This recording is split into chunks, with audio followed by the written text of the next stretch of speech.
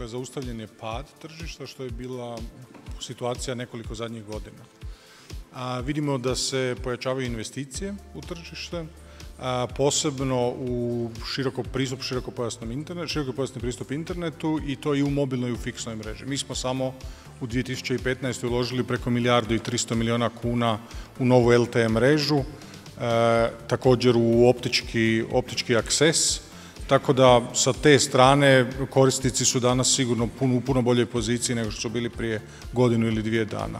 Očekujem da će 2016. donijeti dalji razvoj usluga, ali ono što mi vidimo jeste sve veća glad za kapacitetima u pristupu internetu i sve veći udio interneta na mobilnim e, tehnologijama u odnosu na fiksne. Mi ćemo nastaviti investiciju, očekujemo da će i ove godine nam investicije biti daleko iznad milijarde kuna e, i također će ići dalje u, izgradnju infrastrukture.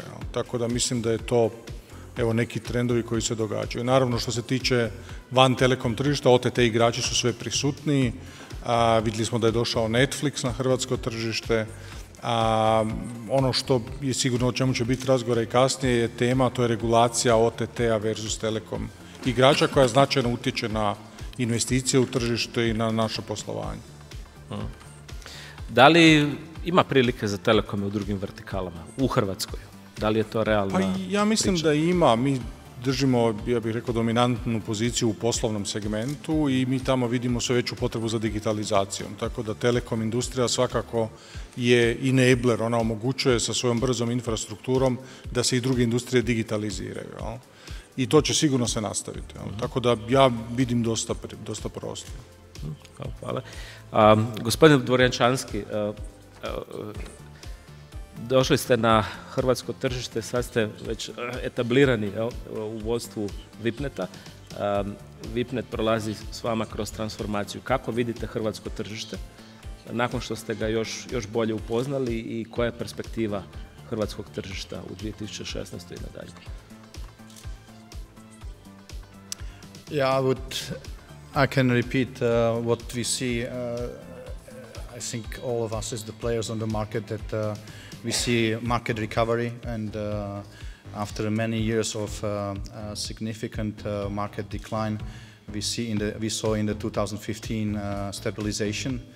What is important that we managed not only to transform the company, but also we managed to grow and actually for the VIPNet, uh, the year 2015 was very successful because uh, we we grew uh, revenue, and uh, uh, that's the that's a very important trend for us. Um, the uh, the market itself, and I repeat what I said already last year, didn't change too much, and I still believe that. We have uh, disbalance in the market. If you compare with other European markets, uh, uh, we have uh, incumbent uh, uh, controlling 83% of the market, you know, more than 75% of EBITDA. And this, this raised the question, you know, is that gonna be, is that healthy environment for the, for the competition? Uh, we face a situation in Croatia where the prices are one of the highest if we talk about the broadband uh, across the Europe and also uh, uh, still uh, there is uh, uh, there is uh, lack of the let's say alternative uh, backbone infrastructure in Croatia which would have impact on the future growth you know? So I think there are some structural issues which should be uh, really seriously uh, considered because uh, I think the customers are not now uh, you know winning because of that situation. Kako je to kad usporedite sa drugim europskim tržištima? Jer debata u Europi oko konsolidacije trenutno postoji recimo tržišta Francuske, Engleske i tako dalje, gdje se prepoznaje s jedne strane dobra strana konsolidacije, da se igrači okrupnjuju, što daje e, veći investicijski potencijal, no s druge strane imamo stalno sa regula, strane regulative brige da to može dovesti do većih cijena. Kako bi usporedili Hrvatsku sa tržištima? Da li smo mi podkonsolidirano, prekonsolidirano tržište i kako vidite tu razvoj situacije?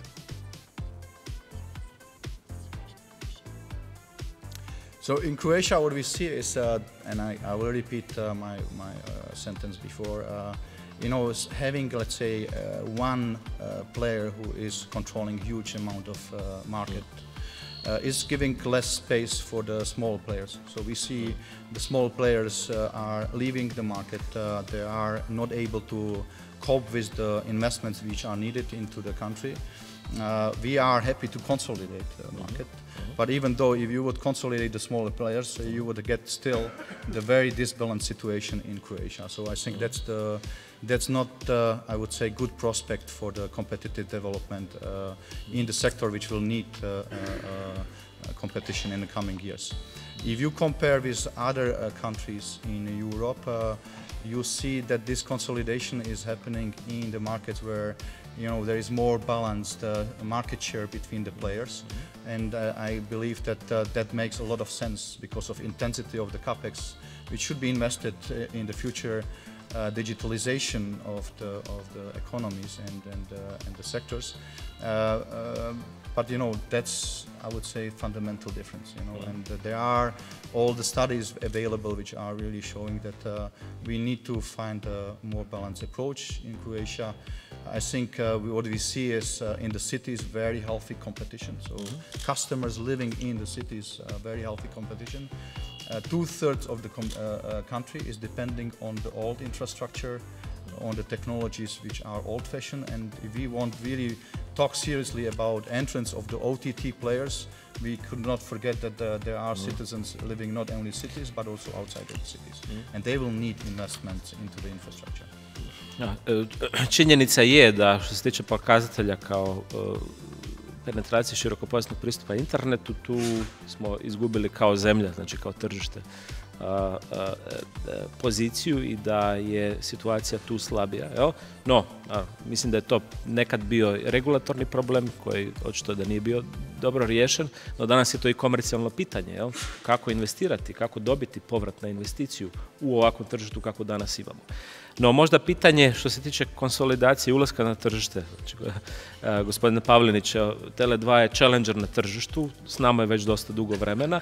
Kako vi vidite tržište? Da li je ono da li pruža daljnje prostore za rast i kako biste ocijenili prilike za Tele2 u ovoj godini? Pa svakako, mislim, e, argumentacija i argumente koje su iznijeli i gospodin Tomačković, gospodin Božjanski stoje da je pitanje konsolidacije otvoreno i da je tržište možda u nekim segmentima u Hrvatskoj ne funkcionira zbog toga jer postoji disbalans. Što se tiče prilika za Tele2 kao tako, mi smo, iza nas je godina koja je bil primarni fokus te godine bio vrlo intenzivni investicijski ciklus gdje smo investirali značajna sredstva da bi oporavili, odnosno postavili našu 3G mrežu na razine koje su zadovoljavajuće za, za pružanje usluge za krajnje korisnice, a evo jučer smo i pustili komercijalni rad e, našu 4G mrežu te uh, omogućili 4G uslugu na vrlo uh, širokoj bazi, širokom bazi korisnika i sa vrlo širokom pokrivnošću. Mi svoje prilike i primarno prilike industrije vidimo o kretanju prema podizanju korisničkog iskustva, gledanja i stavljanja korisnika u centar, odnosno Mislim da s te strane možemo i učiti od OTT playera koji, recimo na primjeru Netflixa je dosta očito, ja bih rekao, da uh, trendovi koji se nazivaju sa korisničke strane su idu u smjeru da korisnik hoće sadržaj, hoće dostupnost, hoće konektivnost i hoće to kad on to odabere i hoće mobilnost. Um, prilike za Tele2 vidimo baš u tom segmentu, mi smo, ja bih rekao, pozicionirani idealno da baš u sredini te nekakve njihove potrebe konektivnosti i, uh, i sa jačim fokusom cijele industrije, a time i Tele2, na baš usluškivanju potreba samih korisnika, mislim da postoji uh, dobar i zdrav potencijal za rast. Da li planirate već neke od tih stvari u ovoj godini, znači što se tiče digitalizacije korisničkog iskustva i kako ocjenjujete hrvatske korisnike, odnosno građane koji koriste usluge? Da li su oni vični da bi se tome, da bi se tome služili jel, na način na koji se korisnici služe tim uslugama širom svijeta? Pa ja bih odgovorio na sljedeći način. Kao što sam rekao, naša godina je bila vrlo investicijski e, orijentirana. I ono što nam je drago za vidjeti da pred kraj godine, nakon što su ti naši investicijski ciklusi privedeni više manje kraju, prevodili su se kraju, e, vidimo da korisnici to prepoznaju, M u ponudama koje im dajemo, M u kvalitetom usluga koju pružamo. Što se tiče same ocjene koliko su korisnici zahtjevni u Hrvatskoj, a koliko nisu, mislim da su dosta zahtjevni. Međutim, opet se vraćam na Netflix, tek ćemo vidjeti one trendove koje vidimo u svijetu gdje korisnik će zbilja prepoznati da je on taj koji kreira potražnju, da je njegova potreba za mobilnošću, konektivnošću odmah i sad i kad god hoću, gdje god hoću, zapravo na prvom mjestu. I to su neki trendovi kojima ćemo se mi telekom operateri morati malo bolje pozabaviti i Tele2 vidjeti u svoj prostor za rast i misli da može, ovaj, da je zapravo idealno fit s pozicije challengera odgovoriti kvalitetno te potrebe. Da, da. To je i teza koju ja osobno zastupam, znači činjenica je da građani u Hrvatskoj koriste napredne usluge, znači imamo Uber, koristi se Airbnb, davno se već koristi Facebook i tako dalje, znači usluge, over the top usluge sa visokim korisničkim iskustvom, tako da su kupci su već navikli na, na takav nivo korisničkog iskustva i to je sigurno nešto što i drugi sektori, ne samo telekom i to možemo pričati o bankama, trgovini i tako dalje, mogu iskoristiti i pružiti svojim, svojim kupcima jel, takvo iskustvo. No, pitanje je isto vezano za tržište, gospodine Lukač, iz perspektive alternativnog operatora, new entranta u jednom trenutku na tržište, kako vidite tržište i u segmentu gdje jeste aktivni, šta vidite kod kupaca i koje su te neke nove potrebe kod kupaca koje, e, koje, koje prepoznajete? Što se tiče e, samog tržišta, kolege su rekli da je došlo do smanjenja e, proteklih godina, to svi znamo, no međutim prošla godina je općenito promijenio se trend i vidimo da dolazi do jedne stabilizacije cijena i iz razloga što naši korisnici imaju druge potrebe. Znači imaju potrebe za razvojem aplikacija ili korištenja cloud servisa koje, koje mi pružamo i samim time to pomaže i nama da nadomjestimo taj gubitak prihoda iz onih tradicionalnih servisa koje smo imali voice i, i prijenosa podataka. Kad govorimo o budućnosti hrvatskog tržišta, mislim da, da je tu propuštena jedna velika prilika, da je regulator davnih dana zakazao u svome poslu, nije ga napravio kao, kako to treba i nažalost mi smo svjedoci da ima sve manje korisnika, to je sve manje pružatelja usluga na tržištu. Došlo je do konsolidacije, ta konsolidacija traje i trajeće i u budućnosti. Kad pogledamo cjelokupno europsko okruženje, konsolidacija se mora nastaviti. To je, to je neminovno, jer sami ste rekli ranije u izlaganju da imamo otete igrače koji nude iste usluge kao i telekom operateri, no međutim nemaju tu infrastrukturu. Mi smo vlasnici infrastrukture, mi bi trebali ulagati kako bi se zadovoljile sve veće potrebe korisnika, a u istom trenutku nas se regulira, smanjuje se nama manevarski prostor, smanjuju se margine dok te zarade ubire netko drugi. Mislim da to nije prirodno, normalno stanje i da će biti zasigurno veliki promjena na europskom tržištu. Mhm, pričamo već o over the top igračima koji su kod nas prisutni u različitim segmentima. Na jedan segment su medijski sadržaj, znači to je dosta interesantno i imamo Netflix koji je ušao u Hrvatsku i koristi trendove o kojima sam pričao u prezentaciji. gospodine Kramer, kako vidite rast tih over the top servisa koji su bazirani na medijskim sadržajima? Da li oni mogu biti značajniji izazivači, challengeri etabliranim operatorima i kako vidite daljnji razvoj na tom segmentu tržišta? igrača u medijskom prostoru, oni su tu prisutni već, e, već neko vrijeme, e, kako globalno, tako, e, tako i kod nas. Činjenica je da navike gledanja televizijskih i video sadržaja idu u prilog takvom, takvom načinu prikazivanja i dolazak Netflixa je bila očekivana stvar I ja bih rekao, bez obzira što nam Netflix jednim dijelom je konkurencija, da je to dobra stvar za, za tržište. Naime, kako se kaže, kad, kad dođe plima, onda svi brodovi rastu.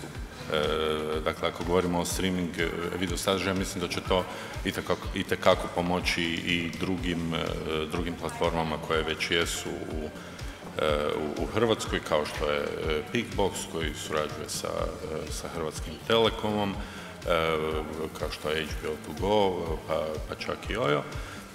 A nadalje i s obzirom na, na ono odakle ja dolazim, ja stvarno smatram da je svaka konkurencija, e, zdrava konkurencija dobra. E, dobra je za tržište, dobra je za krajnje korisnika, e, dobra je i za nas, jer nas natjera da gledamo i razmišljamo na, na drugačiji način, da se prilagodimo, da budemo inovativniji.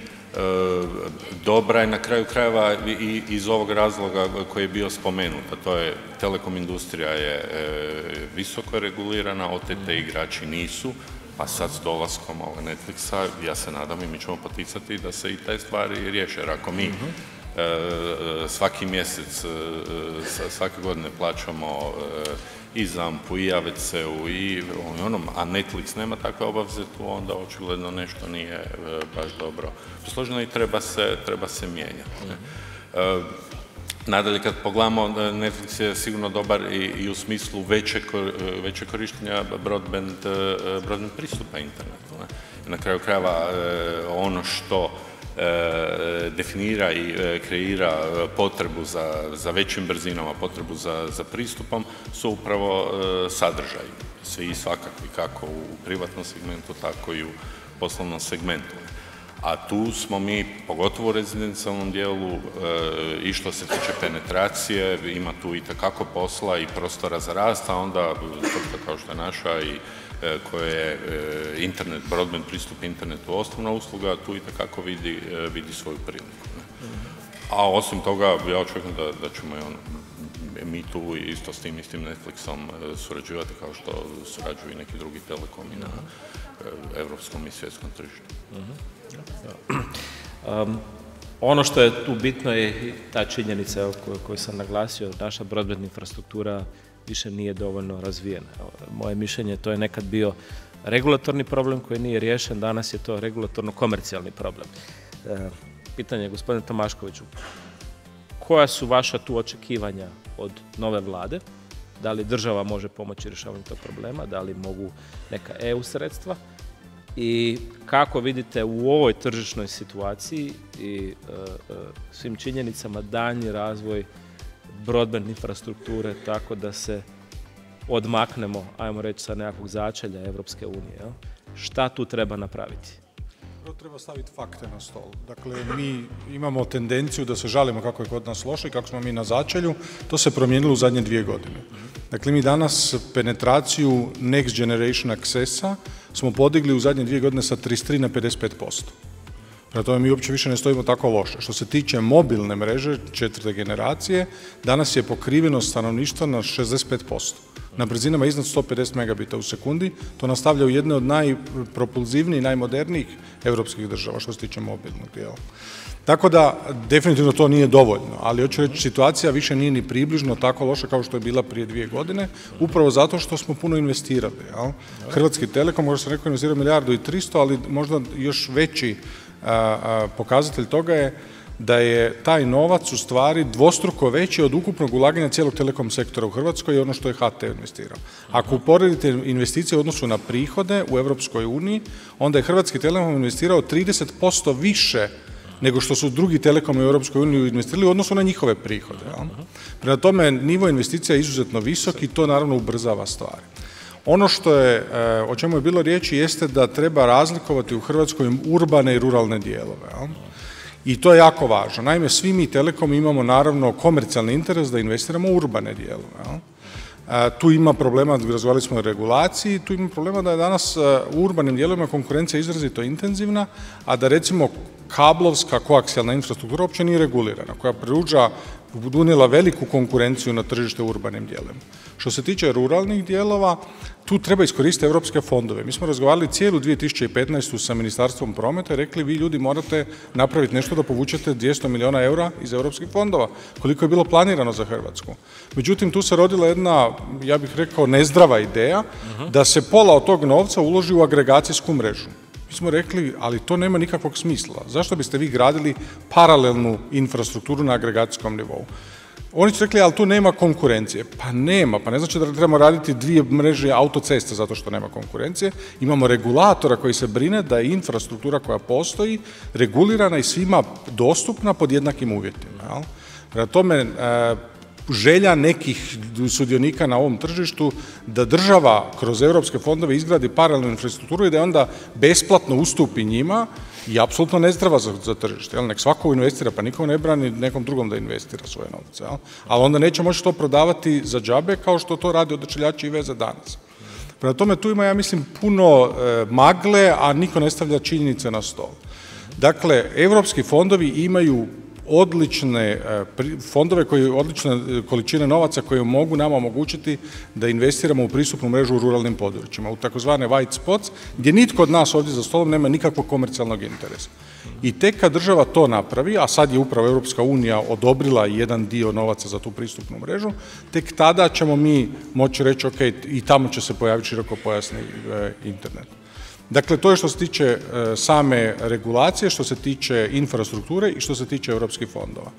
Ono gdje e, mi očekujemo od vlade da napravi iskorak jeste da omogući investicije.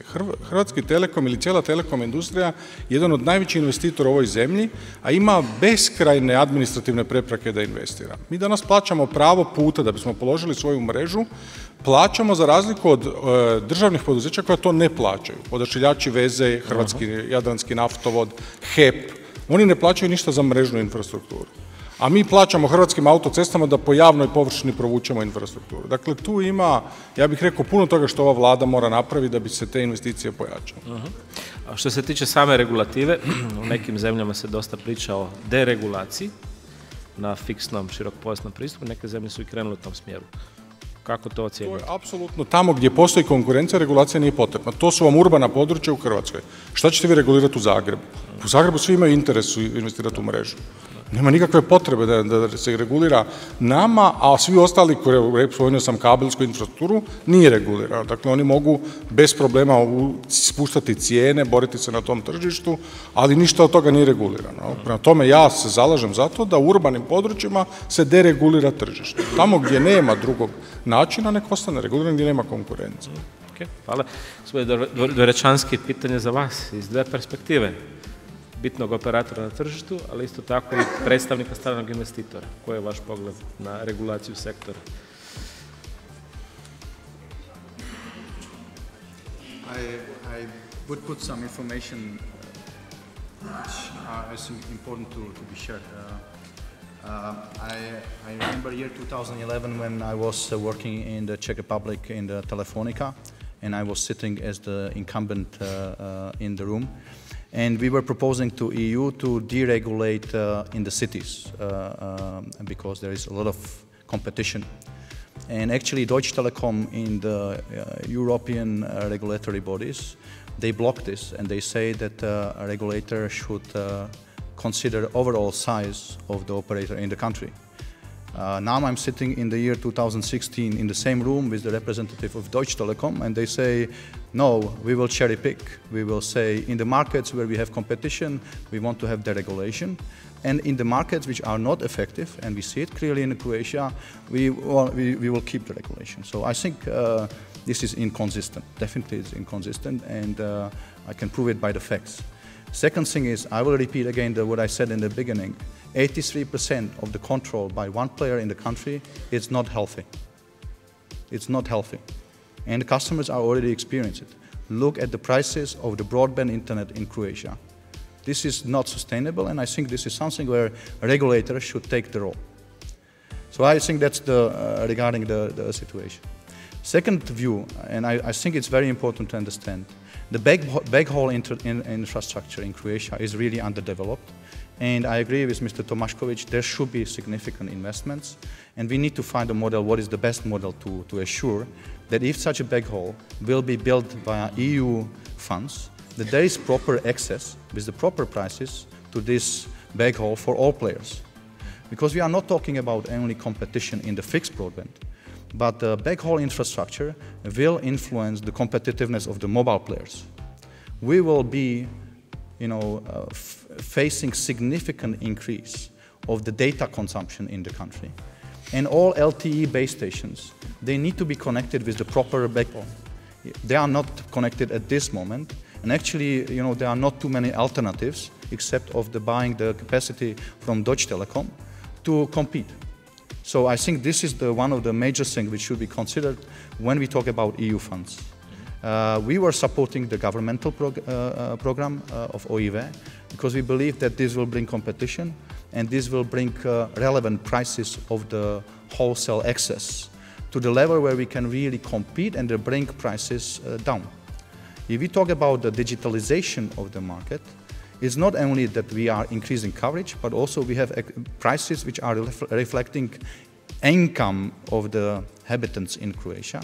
And we cannot uh, say that Croatia has the highest salaries in the, in the region and uh, they can pay the, almost the highest, uh, uh, and in parallel they are forced to pay almost the highest uh, uh, cost for the broadband. So I think if you want to penetrate, you have to have rollout on infrastructure, but you also need to assure competitiveness in the prices so the customers could afford it. And you see it clearly in our case. You know, we have uh, 400,000 households in Croatia covered with the broadband infrastructure. We are growing fast, and we are not charging higher prices than the incumbent. We are charging the prices which are by 20% lower. So it works. You know, we can deliver that experience. So uh, I think that's the that's very clear view from our side. We will never agree. You know, we are competitors. Don't expect that we will be you know, friendly on this topic. But I think this is important to to clarify why there are the different positions of the key players on the market. Hvala. Um,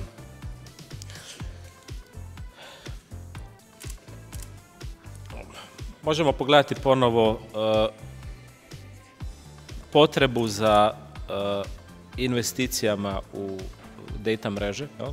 Jel? Znači, gospodine Pavlinić, može pitanje za vas. Činjenica je da danas imamo korisnike koji koriste samo data, jedan dio korisnika. Jel? Um, kako se vi s time jel, nosite u Tele2, koji je vaš pogled? Kakav je vaš plan investicija u ovoj godini, a možete se i osvrnuti, vjerujem, na ovu interesantnu debatu oko regulative. Pa, što se tiče potrebe za podatkovnim e, paketima, podatkovnim, mislim, mi smo primarno player na mobilnom tržištu i to mogu relevantno tvrditi da, da potreba i prosječna potrošnja korisnika raste po stopi od najmanje 30% godišnje. I to prosječni korisnik. to je recimo jedan trend koji je zapravo odraz više stvari. Tu bi rekli jedna je penetracija smartfona koja je dosta značajna, sad već, već više 80, od 80%. Međutim, drugi trend je e, e, sve više i više LT enable telefona u mrežu. Prije godinu dana smo bili tu sjedili i pričali o LTE-u kao o, o novoj veku stvari. E, Teo2 je tvrdio i, i, i dalje stoji kod toga, mi ćemo investirati u LTE kad za to tržište bude spremno. I kad ćemo i pod time mislimo kad penetracija telefona bude značajno velika, kad sadržaji budu postali dostupni um, i ono što vidimo je to zapravo vidimo da se događa sad. U ovom trenutku negdje oko 30% telefona LTE sposobno, prije godine dana to je bilo samo 5%. Uh, s time će rast značajna i potreba za korištenje podataka koja neće biti um, driver, za to neće biti tehnologija, driver će biti sadržaj. I zato vidimo da je e, sad je došlo na neki način pravo vrijeme i e, sa pojavom novih, novih igrača na tržištu, posebno oko OTT-a, da će korisnici biti ti koji će sve više i više konzumirati e, uslugu. Mislim da za, za, za jasnoću možda bih htio istaknuti da što se tiče samog LTE-a, brzina, tehnologija, ono što je korisnicima na kraju bitno je rekao bi, možda najmanje bitno su teoretske brzine kojima, o kojima pričamo kao maksimalne moguće. ono što je možda najbitnije za korisnike je prvo dostupnost, što se naglašava značajno pokrivenošću, tako Tele2 pokriva 4G signalom 90% populacije. To je jedna stvar. Druga stvar je da telefoni koje korisnici imaju zbilja mogu koristiti tu mrežu na cijelom teritoriju, a ne samo možda neki određeni modeli ili određeni teritoriji. I možda ono što je naj, naj, najbitnija stvar kod LTE za razliku od 3G je ta brzina odziva koja je značajno, značajno bolja i to će podići korisničko iskustvo. mislim da ono što mi radimo, ono način na koji smo mi krenuli da pružamo te usluge odmah i svim korisnicima istovremeno je pravi put jer zapravo to je ono što mijenja korisničko iskustvo. I mislim da vidimo dosta, dosta pozitivne reakcije od strane korisnika koji se to dobro poznaju i ovaj, samim time ovaj, mislim da smo na pravom putu. Pa kako gledate na nove, nove usluge, netradicionalne usluge i na konvergenciju? Obzirom da ste mobilni ste igrač, znači niste ušli u fiksnu infrastrukturu, da li procjenjujete da to u Hrvatskoj nije potrebno ili će možda biti potrebno poslije, i kakve nove usluge vidite relevantne ili ste možda ono, u skladu s onim što smo rekli, connectivity play igrač na ovom tržištu? Pa, pa rekao bih, ako bi, se morali svrstavati u neke, uvjetno rečeno, blokove, uh, odabrao bi connectivity, međutim sa fokusom na e, promatranje korisničkog iskustva i odgovaranje na potrebe mhm. korisnika koje u tom trenutku su e, najbitnije. tu mislimo igrati svoju najvažniju ulogu i bilo je spomenuto i u razgovoru ranije, trendovi koji se događaju da više prema mobilnosti. jasno da, da ljudi traže konekciju i u, i u prostorima gdje borave, to je jasno, međutim mi vidimo svoj prostor u ovom dijelu mobilnosti. Digitalizacija i recimo vaša, vaša prezentacija oko digitalnog marketinga, da će to postati dominantno, ide ruku pod ruku sa mobilnošću pristupa interneta. Tako da tu vidim dobre prilike za Tele2 bez obzira što ne igramo na tržištu fiksno. Hvala. Gospodine Lukač, pitanje isto iz perspektive digitalizacije novih poslovnih modela, ali isto tako i interne efikasnosti kompanije. Kako procjenjujete taj trend? Jel? I možda šta vaša kompanija tu misli? I ne znam, kao challenger na tržištu možete se osvrnuti na ovu diskusiju oko regulative. Pa kad govorimo o digitalizaciji ili informatizaciji, mislim da se prvo trebamo i, i najviše fokusirati upravo na javni sektor i na državu, potrebu da se pojednostave procesi i da svima nama koji radimo i živimo u ovoj zemlji bude lakše. to je ono što, što nedostaje i prije nego što trebamo razmatrati velika ulaganja u infrastrukturu, prvo moramo počistiti vlastito dvorište i dovesti neke stvari u red. Znači, imamo previše neefikasnosti koje moramo riješiti ulaziti u velike investicije je krivo dok se to ne napravi. A sad ću vam opet reći glavni razlog, barem ono kako ja to vidim, leži u činjenici da onog trena kad počnete pričati o novim ulaganjima, pojavi se ideja da treba ponovo stvoriti još jedan telekom, državni telekom, da treba stvoriti nekakvu državnu IT tvrtku. Ambicije tih ljudi koji dođu na, na pozicije tih kompanija u javnom sektoru odjedanput na, na rastu i oni sebe vide kao buduće igrače na tržištu. Mi smo uložili previše novaca u infrastrukturu. financijski gledano nismo nismo zadovoljni sa, sa povratom u te investicije. Možemo reći da smo napravili dobru stvar za, za tržište i za naše korisnike i za sve ostalo, ali financijski gledano Možda smo to napravili i prije nego što je okruženje bilo spremno za te investicije i tu razinu tehnologije.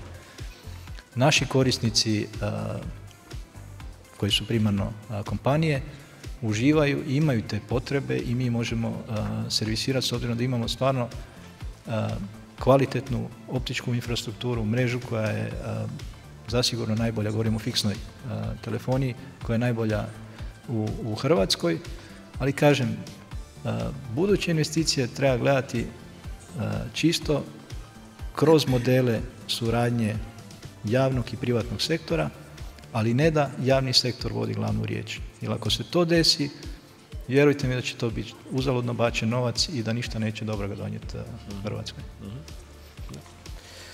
Hvala. Pitanje gospodine Kramar. Internet of Things i druge vertikale. Šta vidite u Hrvatskoj u ovoj godini i narednoj godini da bi moglo biti relevantno? Gdje vidite neke promjene? Jel? A, I možda ono, koji su, koji su vaši planovi, jel? Ako, ako imate neke konkretne ambicije tu. Što vidimo u narednom razdoblju, najbolji odgovor bio sve. Dakle, Internet of Things ili internet e, svega. E, I vi ste u svojoj prezentaciji e, spomenuli digitalizaciju i na neki način je naznačili kao industrijsku revoluciju 4.0 i e, ja uistinu smatram da, e, da taj proces digitalizacije svega koji nam predstoji e, uistinu je usporediv sa onime što su, ne znam, parni kalački stroj u 19. stoljeću značili za, za prvu industrijsku revoluciju.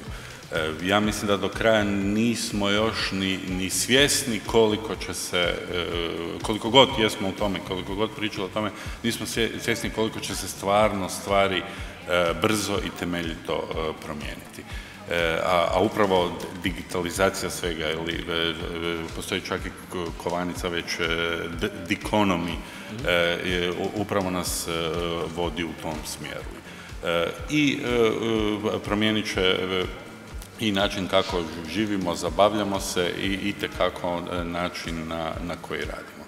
E, a upravo su tu e, Telekom i ICT industrija glavni pokretači tog, tog razvoja. Dakle, s jedne strane mobilna i fiksna broadband infrastruktura koja će omogućiti da, da svi ljudi, da sve stvari, da svi uređaji budu svo vrijeme priključeni i onda naravno ICT, IT rješenja E, koja će omogućiti tu e, digitalizaciju. Dakle, i e, cloud computing, i real-time computing, i wearables, sve te stvari koje nas čekaju iz temelja će promijeniti stvari kakve, kakve jesu danas.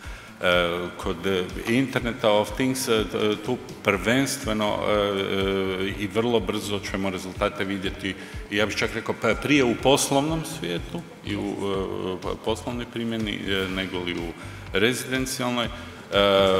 Mislim da čak i vaša predviđanja govore o 50 milijardi uređaja priključenih na internet do, do 2020. E, svi ti senzori, e, e, sve to što će biti priključeno na internet u trenutku kad se iskoristi i big data i kad se obrade na, na odgovarajući način, stvarno će omogućiti veliku promjenu. Upravo u tom smjeru idemo i mi.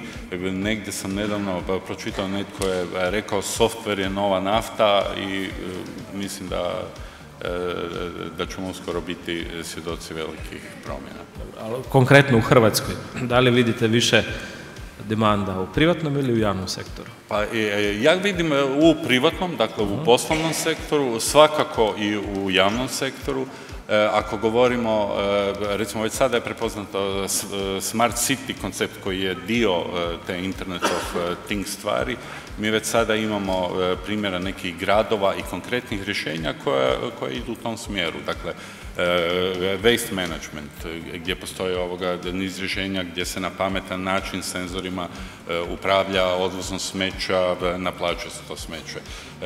Pametna rasvjeta, pa pametno parkiranje, kontrola i nadzor vozila.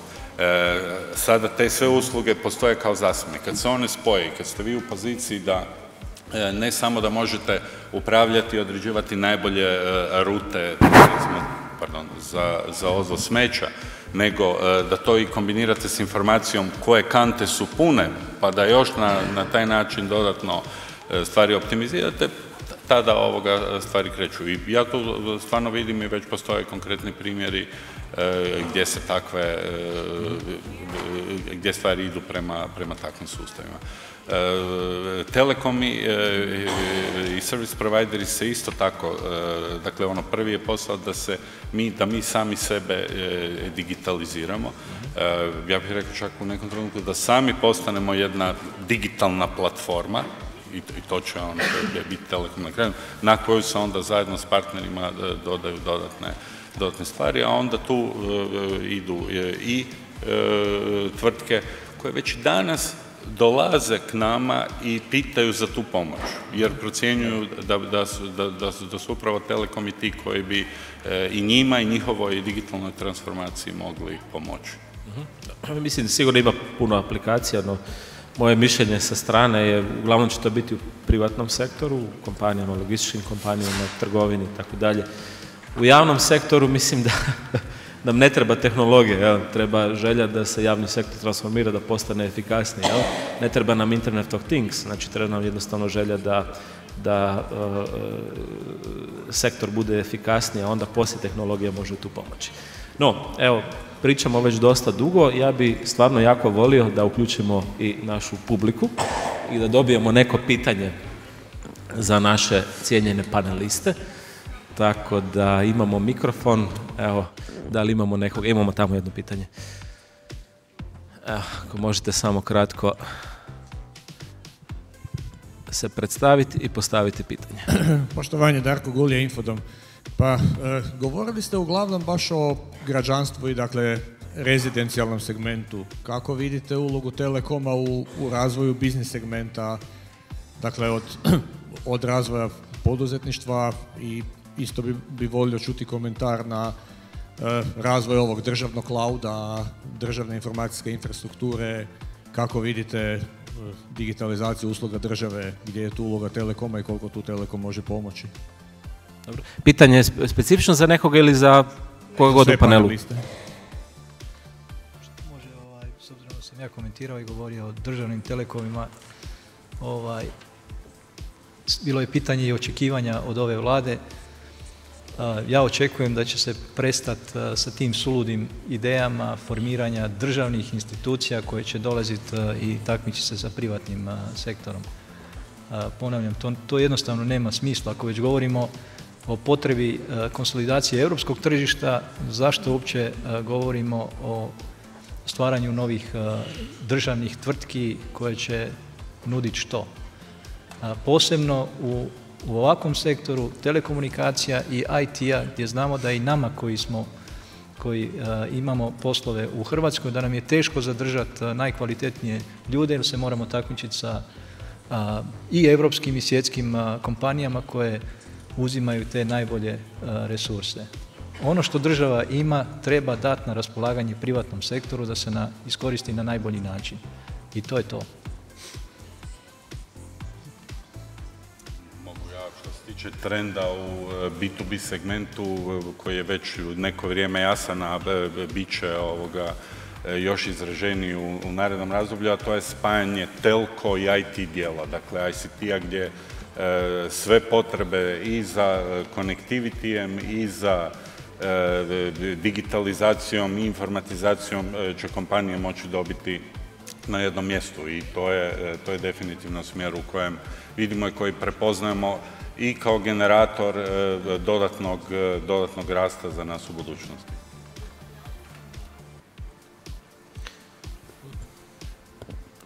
Imamo li još pitanja?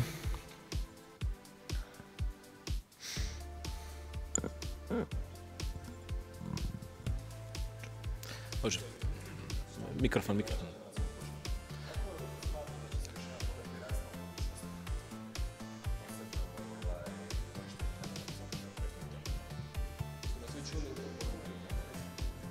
Dakle, Igor Garača, Hrvatska pošta. Kako smatrate da će se rješavati problem piratstva u budućnosti u smislu korištenja nelegalnog sadržaja preko interneta u razvoju ovaj, i od strane OTT igrača, ali i kroz veliki telekom? Hvala. mogu ja, s smo mi vrlo prisutni u TV segmentu i u pruženju kontenta. a imamo i Bigbox koji je upravo ovaj SVOD usluga koja je lokalizirana u stvari je bila puno prije Netflixa prisutna na tržištu. Ono što mi vidimo jeste da ljudi u piratstvo idu ili koriste sadržaje koje su dostupni putem piratstva zbog dva razloga. Jedan je da ih nema nigdje drugdje, pa ne mogu doći do tih sadržaja, a drugi je cijena, jer je piratska naravno besplatna. Barem ovaj prvi dio mislim da na njega možemo utjecati. I pojava Pickboxa gdje mi imamo televizijski kontent, posebno nove serije koje se prikazuju 24 sata nakon što budu premijerno prikazane u Americi, je umanjila potrebu za traženjem alternativnih izvora pa i tih piratskih za nekim sadržajima. Mislim da dolazak Netflixa će i dalje poboljšati to, tu raspoloživost sadržaja. Što se tiče cijena, mislim da su cijene sada već postale vrlo dostupne. Vi danas Pickbox koristite za 5 eura mjesečno na kojem imate tisuće filmova ili najnovijih televizijskih serija, što mislim da je vrlo pristupačno. Tako da mislim da će jednostavno širenje ponude utjecati na to da se piratstvo smanji, ali da se konzumenti piratskih sadržaja jednostavno odustanu od tih, s obzirom da tu bude i lošije kvalitete, nema lokalizacije na hrvatski jezik, a s druge strane su im ti sadržaji dostupni na legalan način po vrlo povoljnim uvjetima. I still believe that uh, the legal uh, legal environment uh, uh, should uh, create uh, conditions where the players play the same game and and I know that this is not difficult. This is quite difficult, uh, but there were some examples. You know, we saw what happened in U.S., in France. Uh, uh, I also followed the situation in Czech Republic, where this piracy was uh, successfully uh, addressed by the, the, legal steps of the of the companies uh, and the government supporting this. So I think that's something which we should uh, should clearly say. You know, like piracy is you know piracy, and we should not accept it as a trend. Uh, I agree that uh, we are fighting with our common uh, common uh, uh, let's say tools like offering OTT services, offering IPTV. Uh, I still think what uh, should be always considered uh, when you look at the content services, they are rather low margin uh, um, uh, services. Uh, so for us, the key margin is coming from the broadband demand, you know, and you know you have broadband demand li linked with the downloading of the content. You have a broadband demand linked with the with the streaming of the content. So. Um, I see that uh, there is not too much harm, I, I would say, on, on the margin uh, uh to some of the companies uh, in the telco sector. Uh, but I also agree, you know, if we want to set proper, proper environment for OTT and, and for the telco companies, I still see there are a lot of, a lot of areas where we see that there is not the same framework used for one sector and for another sector, and in parallel we're also fighting with the piracy. You know, mm -hmm. and I mm-hmm. think mm -hmm. there should be more attention uh, given by the government. ali mislim da je problem isto što su uh, modeli over the top igrača Telekom igrača različiti, a natječu se na istim tržištima. Ovo što ste vi rekli, to su usluge niske marže, ali to su globalni poslovni modeli gdje over the top igrači poput Netflixa mogu kupovati sadržaje puno povoljnije nego što mogu telekom kompanije i s druge strane nema infrastrukturu. Telekomi su asset intensive biznisi ja? sa visokom maržom, ali jako puno velik, e, imovine, investicije u imovinu, dok over the top igrači imaju minimalnu imovinu i sa manjim maržama ostvaruju veće povrate na dioničarski kapital, ja, veći return on equity. Jel? I to je problem kako, kako na jednom tržištu imati iste igrače, jedne koji su regulirani, drugi koji nisu regulirani, će su tržišta, tržišta globalna. Tako da mislim da je to relevantna tema za europske regulative i sigurno recimo jedan plus za konsolidaciju u telekom sektoru, iako će telekom uvijek ostati u nacionalnim tržištima. Imamo još jedno pitanje iz publike.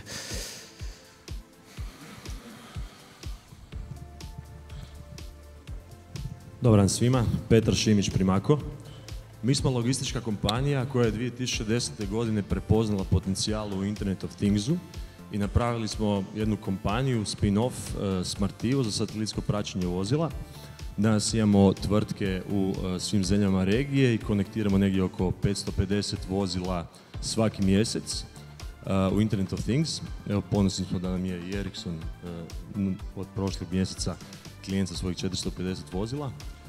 Uh, mislim da je to recimo jedan dobar primjer gdje je jedan vrlo old school biznis koji postoji otkad postoji kotač, dakle transport, logistika, gdje smo zapravo prepoznali tu konvergenciju, priliku da uđemo u Internet of Things biznis i u principu tragamo za novom prilikom, pa me interesira čuti mišljenje CEO-ova telekom kompanija, što mislite koji je idući big thing u Internet of Thingsu, jer bez obzira što se priča o puno tih stvari, zapravo je taj nekakav M2M i pogotovo u logističkom segmentu, u transportu, onaj koji je u zadnjih nekoliko godina napravio najviše i revenue i nekakvog, i nekakvog prihoda i value za, za customers. Evo, hvala lijepo. Hvala.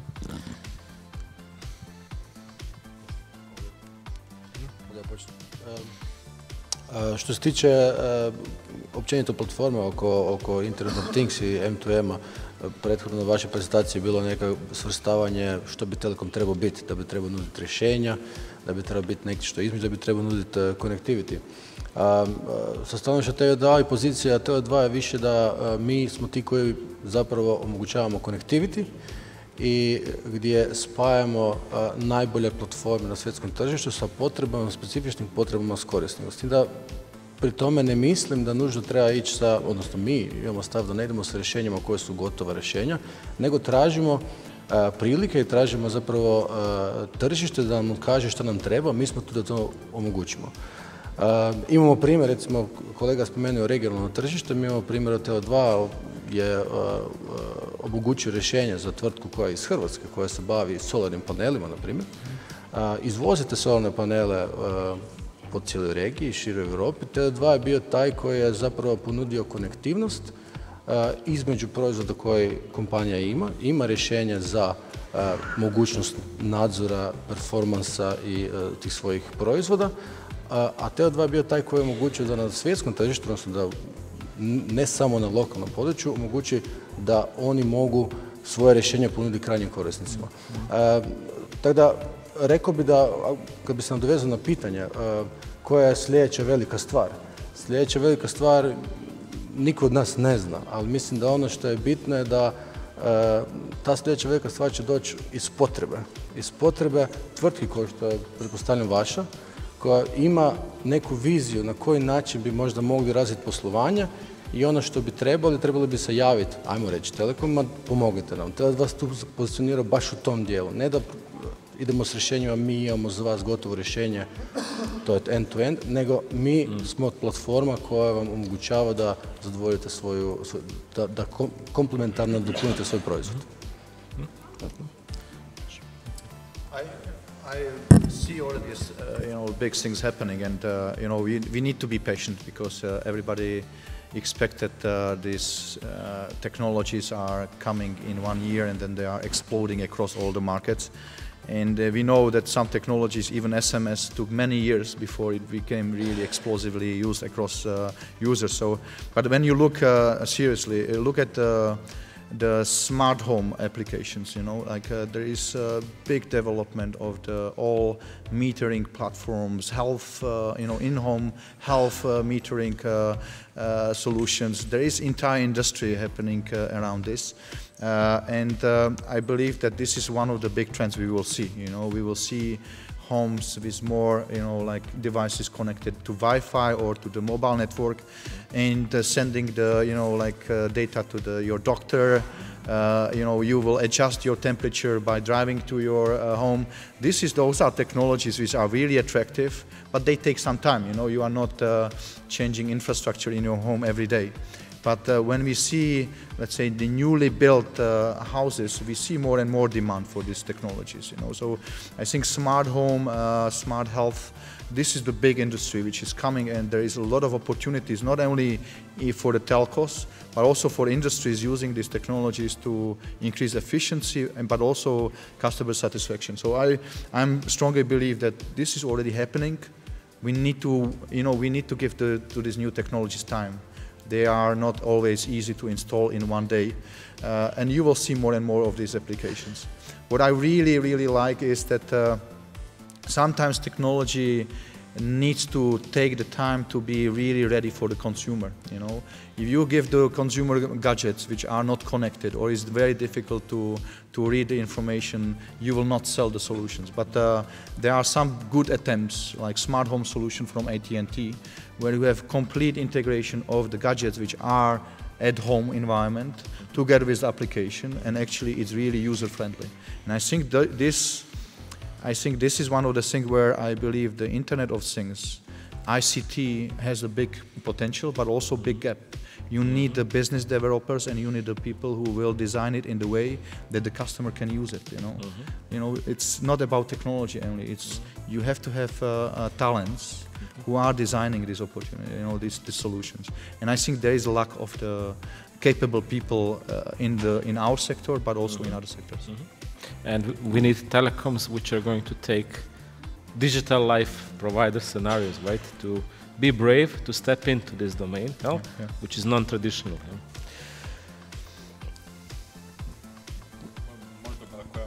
reći, ja mislim drugačije u ovom smislu trebamo li mi osigurati samo connectivity ili pružiti cijelo rješenje. Mislim da, da, da smo stvarno dobro pozicionirani da, da ponudimo cijelo rješenje što samostalno, što u, suradnju, što u suradnji s partnerima.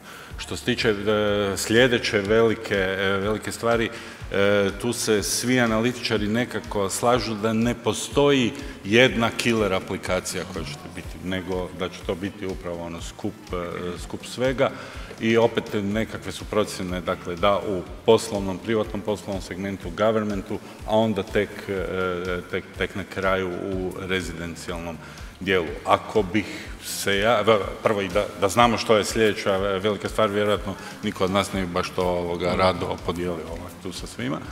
E, ali ako bi se ja na nešto ovoga treba hladiti, onda to pitanje e, connected e, auta i automatske vožnje, mislim da će to uistinu ovoga biti, biti sljedeća velika stvar. Hvala. Mislim da smo iscrpili Evo još jedno pitanje. Još jedno pitanje za kraj. E, iz odvjetničkog ureda Krehić. Ja sam Tarija Krehić, odvjetnica.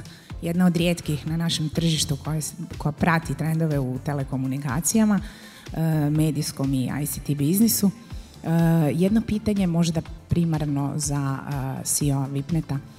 Kako komentirate cijene veleprodajnih osnovnih bazičnih telekom paketa s obzirom da su možda najniže u Europi, pa s obzirom na funkcioniranje infrastrukturnog telekom tržišta s početka vaše diskusije. Hvala. Excuse me, I just, uh, shall I comment on the prices in the, okay.